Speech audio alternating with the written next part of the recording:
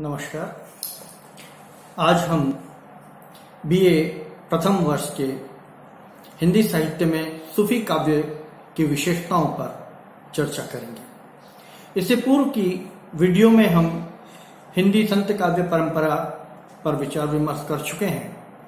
आज सूफी काव्य की विशेषताओं पर हम विस्तार से चर्चा करेंगे कि किन विशेषताओं के कारण सूफी काव्य परंपरा जो है या सूफी काव्य जो है, वो चिरंजीवी है। मूल रूप से देखा जाए तो भक्ति की जब धाराएँ, धाराओं का विभाजन हो रहा था, कालखंड का विभाजन हो रहा था, उस समय संत काव्य परंपरा में दो धाराएँ प्रभावित हो रही थी। एक थी संत परंपरा, संत काव्य धारा और दूसरी सूफी काव्य धारा। पूर्व वीडियो में हमने चर्चा की कि संत काव्य धारा में कवियों ने ज्ञान मार्ग को अपनाया और सूफी काव्य धारा में कवियों ने प्रेम मार्ग को अपनाया। एक ज्ञान के माध्यम से ज्ञान के मार्ग पर चलकर ईश्वर को प्राप्त करने का की बात करता है। एक प्रेम को ही ईश्वर तत्व मानता है। एक का मानना है कि प्रेम में ही ईश्वर है। इसलिए हिंदू आख्यानों को अपना विषय बनाते हुए, हिंदू राजा रानियों को अपना विषय बनाते हुए, हिंदू कहानी और कथानकों को अपना विषय बनाते हुए सूफी संतों ने प्रेम तत्व को आरोपित कर ईश्वर तक पहुँचने का मार्ग प्रशस्त किया। इस परंपरा में जो प्रथम विशेषता आती है, वह है परंपरागत तथा काल्पनिक कथा श्रोत जैसा मैंने अभी आपसे ज़िक्र किया। कि परंपरागत जो विषय रहे, वो थे ऐतिहासिक पात्र, पौराणिक पात्रों को भी इन्होंने लिया। लेकिन पौराणिक पात्रों को वो इतना अधिक जो है, खुल के श्रृंगारिक रूप प्रदान नहीं कर पाए।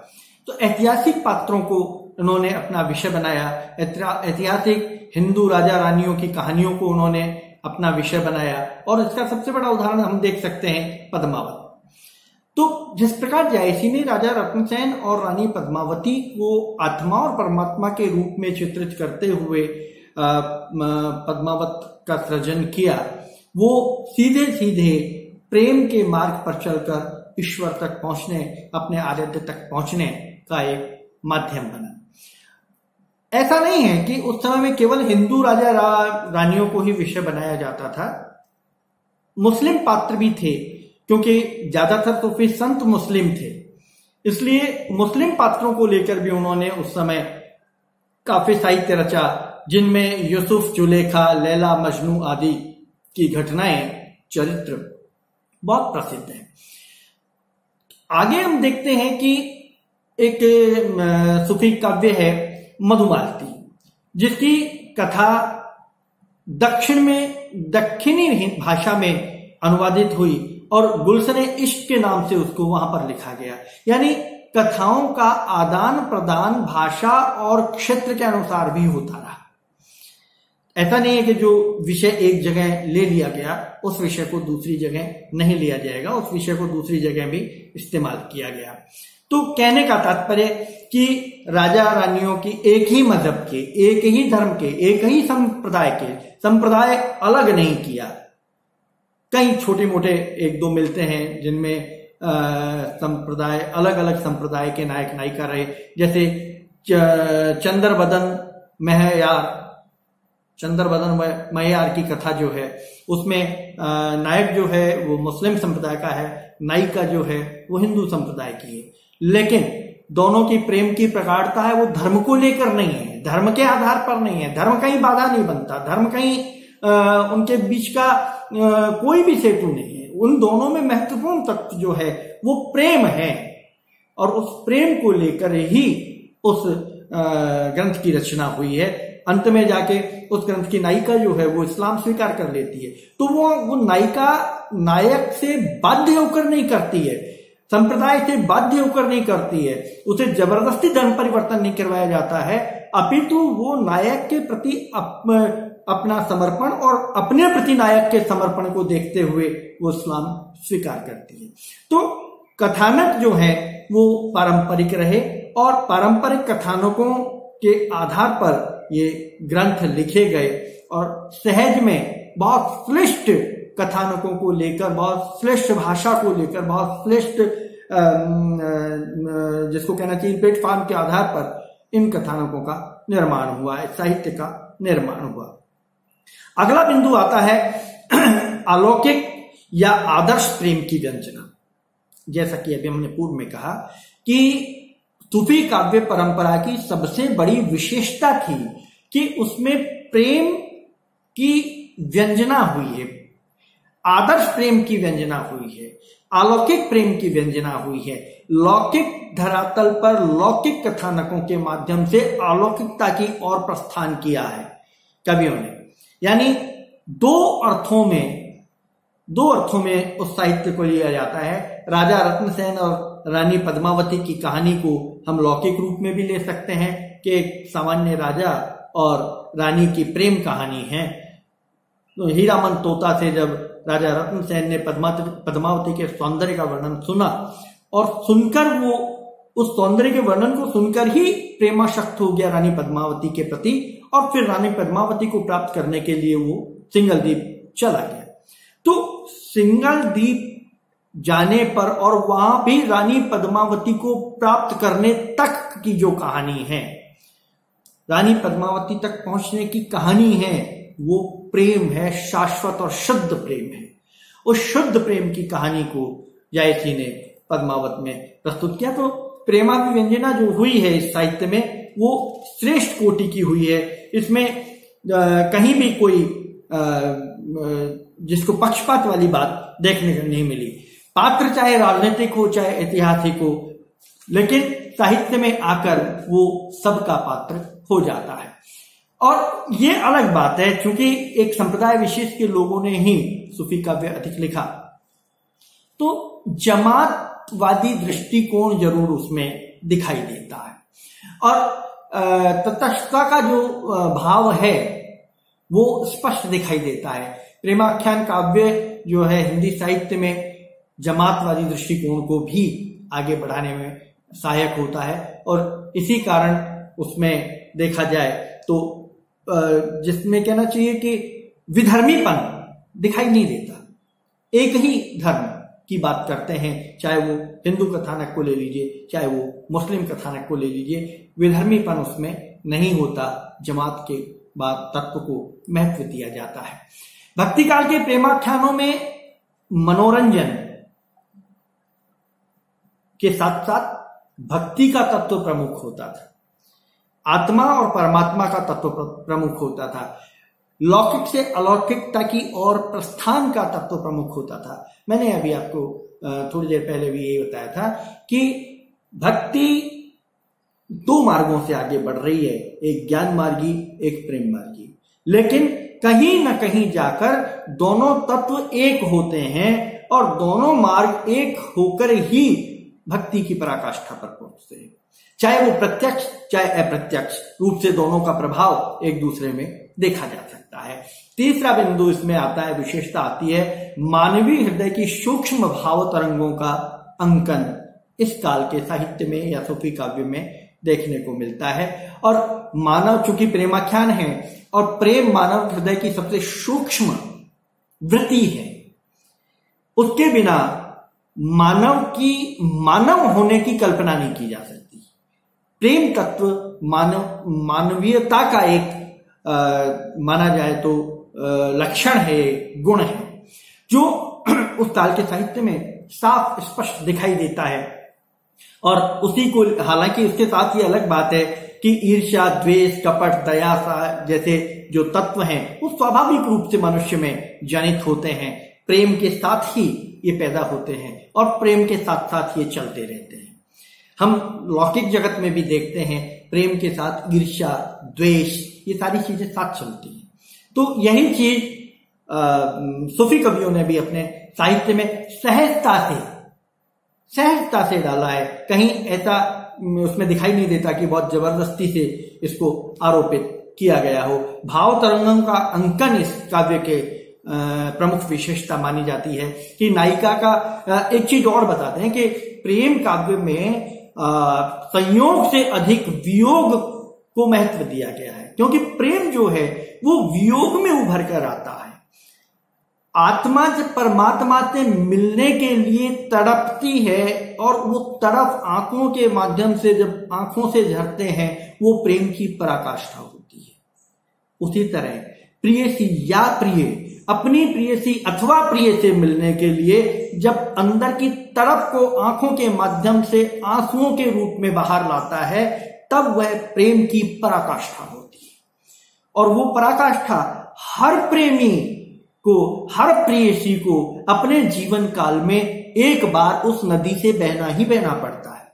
तो सूफी कवियों ने कोई नई बात नहीं कही। एक स्वाभाविक मनोवृत्ति जो है प्रेम के साथ जो जुड़ी हुई है उस स्वाभाविक मनोवृत्ति को उन्होंने आ, समाज के सामने अपने काव्य के रूप में प्रस्तुत किया है। ये विरह का जो भाव है, इस भाव को सहज मन में सबने स्वीकार भी किया है। अगली जो विशेषता इस साहित्य की है, वो है वर्णनात्मकता। देखिए, शुरू से जब हम बात करते आ रहे हैं, तब ये चीज़ एक बिल्कुल क्लियर है कि वर्णनात्मकता प्रबंध काव्य की का अनिवार्य तत्व है। वर्णन शैली। किसी भी बात को संकेत रूप में नहीं कहना, उसको विस्तार से कहना। नायिका के सौंदर्य का नक्षिक वर्णन करना, केवल ये कह देने भर मात्र से नायिका के सौंदर्य की व्याख्या नहीं हो जाती है कि नायिका बहुत खूबसूरत है। बल्कि उसका नक्षिक सौंदर्य वर्णन जो होता है, वो उसका नायिका का वर्णन होता है। तो वर्णनात्मकता का जो तत्व इस काव्य में दिखाई देता है। वो बहुत महत्वपूर्ण है। नक्षिक वर्णन इसमें आ जाता है। और इसमें कवि की कला, प्रेमाभिव्यंजना, विशारदता, कला के प्रति उसका समर्पण भाव, वो सारा एक साथ दिखाई देता है। इसके साथ साथ उसके साथ आपका प्रकृति का संयोजन, यानी रस की परिभाषा भावाविभाव संयोगाद्रस निष्पत्ति। तो भावानुभाव, भाव अनुभाव और विभाव के संयोग से ही रस की उत्पत्ति होती है। तो यहाँ ये सिद्धांत बिल्कुल सही स्पष्ट होता है कि आलंबन और उद्दीपन, प्रिय प्रेमिका और प्रकृति इन तीनों के समायोजन से ही, तीनों के संयोग से ही प्रेम तत्व की उत्पत्ति होती है। आप कल्पना कीजिए कि कहीं बहुत भयंकर आग लगी हो, और वहाँ नायक भी हो और नायिका भी हो, और सामने सब कुछ जल रहा हो तो क्या उनके मन में प्रेम का भाव उत्पन्न हो सकता है? लेकिन हरियाली, हरी भरी पहाड़ी तलहटी हो, झरने बह रहे हों मृग कुलाचे भर रहे हों कोयल कूक रही हो सुंदर सुंदर फूल खिले हों उनकी खुशबू से वातावरण महक रहा हो। अब वही नाई, नायक नायिका यहाँ भी है।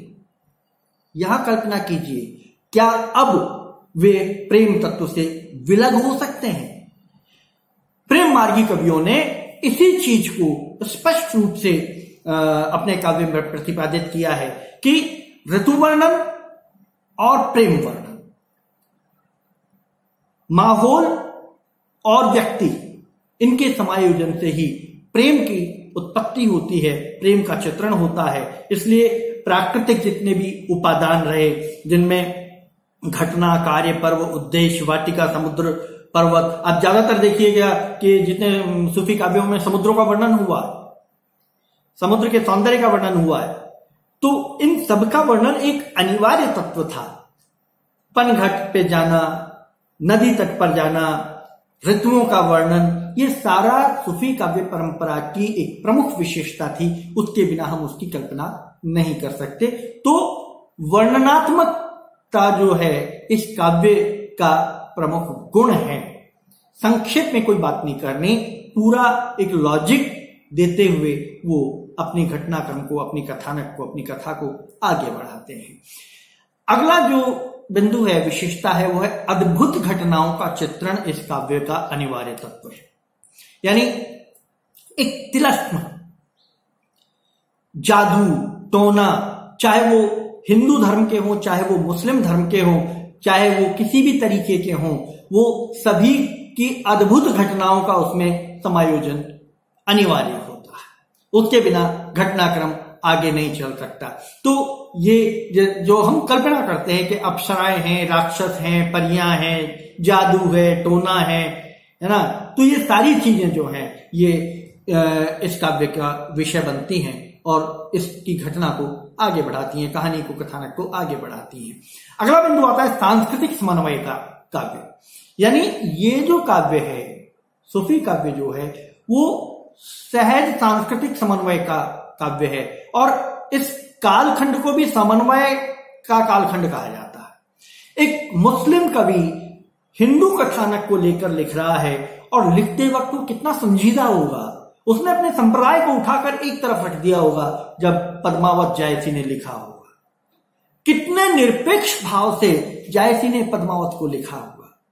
तब जायसी लिखते वक्त एक तरफ़ अपने आप को रतन सेन में आरोपित करता है। दूसरी तरफ़, अपने आप को वो रानी पद्मावती में आरोपित करता है। उनसे पहले अपने आप को वो हीरामन तोता में आरोपित करता है। यानी जो कवि है, जो लेखक है, जो साहित्यकार है, वो हर पात्र में अपने आप को आरोपित कर देता है।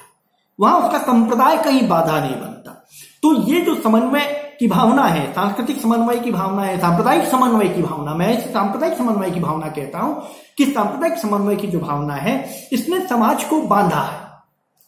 और ये यही कारण है कि आज भी इतने सैकड़ों वर्षों बाद भी यह साहित्य कालजयी है। आज भी हम इसे बहुत श्रद्धा और सम्मान सम्मान के साथ देखते हैं। कहीं भी संप्रदाय का टकराव इस साहित्य में दिखाई नहीं देता। हर संप्रदाय का सम्मान इस साहित्य में किया गया है। प्रेम काव्यों को, केवल शुद्ध प्रेम काव्यों को उठाकर उन्होंने प्रस्तुत किया है। अगला बिंदु आता है भारतीय और फारसी शिल्प का। तो ये सब काल में हुआ है। हम भक्ति काल से ले रहे हैं विशेष रूप से भक्ति काल की ही हम बात कर रहे हैं। भक्ति काल से ही ले रहे हैं उससे पहले वीरगाथा काल में, आदि काल में तो थोड़ा सा अलग तरह का माहौल था। भक्ति काल में आकर तो समन्वय की भावना आई गई थी, क्योंकि हमें जब एक साथ रहना है, हमें जब साहित्यकार कभी किसी धर्म और किसी जाति का नहीं होता, और जो सच्चा साहित्यकार वो उस चीज़ को स्वीकार कर लेता है, और जब वो इस चीज़ को स्वीकार कर लेता है तो वो एक तरह से सामाजिक, सांस्कृतिक और सांप्रदायिक समन्वय का हिस्सा हो जाता है। तो इस काल के जितने भी कवि रहे, वो सांस्कृतिक समन्वय के साथ साथ भारतीय और फारसी शिल्प के मिश्रण के भी गवाह रहे जैसे कि महाकाव्यों की विशेषता होती है कि सबसे पहले उसमें ईश वंदना होती है, स्तुति होती है। फारसी और मशवनी शैली में भी यही होता है। उसमें भी अपने पैगंबर की प्रशंसा करना खलीफा की स्तुति करना, शाही वक्त की स्तुति करना, गुरु की प्रशंसा करना, और हमारे यहाँ भी यही होता है। ईश वंदना करना, सरस्वती वंदना करना, राम वंदना करना तो यहीं से महाकाव्य शुरू होते हैं। तो दोनों में, दोनों तरह के जो साहित्य लिखे गए, उसमें, सूफी संत में, उसमें इन दोनों का मिश्रण बहुत अच्छा दिखाई देता है और इसको हम पद्मावती से बहुत अच्छे से समझ सकते हैं। मंदिर में एक साथ जो है, मंदिर चित्रशाला, उपवन सबका सुंदर वर्णन दिखाई देता है और यही है कि भारतीय समन्वयता को प्रदर्शित करता है। अगला बिंदु है श्रृंगारेतर रसों के प्रति उदासीनता। ये एक बड़ा सूचनीय विषय है। या ये भी कह सकते हैं कि बाकी और रसों की बहुत ज़्यादा आवश्यकता पड़ी नहीं, क्योंकि उस काल में प्रेम तत्व जब प्रधान है विषय ही प्रेम तत्व प्रधान है तो श्रृंगार के अलावा किसी दूसरे रस की कल्पना नहीं कर सकते। श्रृंगार की अधिकता रही है और श्रृंगार में भी विप्रलंब श्रृंगार की ज़्यादा अधिकता रही है। विप्रलंब श्रृंगार को बहुत अच्छे से प्रस्तुत किया गया है, या माने कि प्रेम को केवल विप्रलंब से वियोग श्रृंगार में ही माना गया है। अतिरिक्त इसके शांत, विभक्त, अद्भुत आदि रस भी यदा कदा दिखाई देते हैं। बाकी और तरह के रस जो हैं वो कम ही पाए जाते हैं। वीर रस भी कहीं कहीं दिखाई देता है, लेकिन श्रृंगार रस अधिक है। अगला बिंदु है सहज, सरल तथा स्वाभाविक भाषा का प्रयोग। आप देखिए, उस काल में अवधि भाषा का प्रभाव था। साथ में ब्रज भी थी और संस्कृत निष्ठ भाषा भी थी। जायसी पद्मावत के कालखंड में ही रामचंद्र, राम चरित्र मानस लिखी गई तुलसी द्वारा।